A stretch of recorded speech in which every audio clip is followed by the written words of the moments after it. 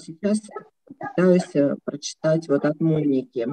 Светлана, когда у меня много работы э, э, или стресс, э, вот, э, ой, прямо это самое, это из Чехии похож такой язык, да. Я пробовала, и у меня невозможно слабость, э, голод, вот, холод и голод, вот, вот. Это когда э, много работы и психологические, в общем-то, физические и, и все такое стрессы. Может быть, это тебе удобнее там прочитать. Светланка, когда у меня много, да. То есть вот э, человеку холодно, насколько я понимаю, слабость, хлад и голод. Вот, то есть получается, что как быть?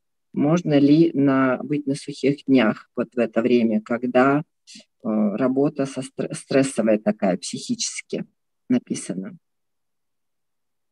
Ну, вообще состояние, я все-таки склонна к тому, чтобы приравнивать вот это вот состояние автономии, когда мы находимся вне еды и вне, а, вне жидкости, это должно быть наше естественное состояние, то есть мы должны в нем и работать, и заниматься своими какими-то повседневными делами, и бытом оно не должно, мы не должны уходить в горы, там начинать э, автономить, проверять себя, насколько мы готовы, потому что это глупо, мы же все равно вернемся обратно в социум.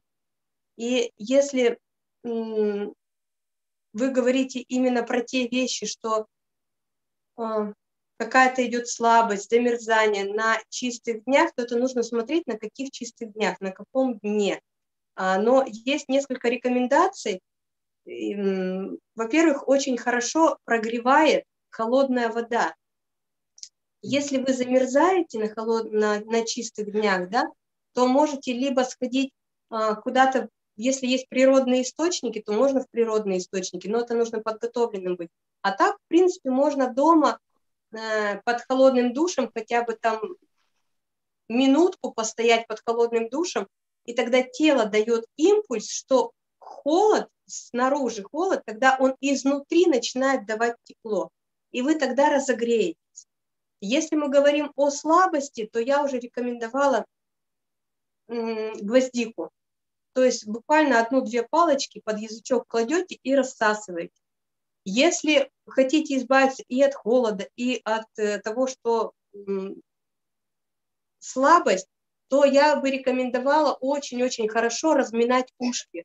То есть как, у нас на ушах очень много вот этих вот различных точек, и когда мы очень-очень сильно начинаем разогревать уши, прям их так, потом вот так вот тереть, прям до красноты, то тогда у нас начинается вот этот вот прилив энергии, прилив крови, и у нас состояние выравнивается, у нас кровь пошла, то есть у нас ушла слабость, и у нас получается, что помимо того, что слабость ушла, естественно, и пошел, э, пошел процесс согревания организма.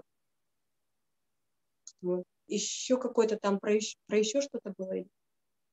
Или ответила?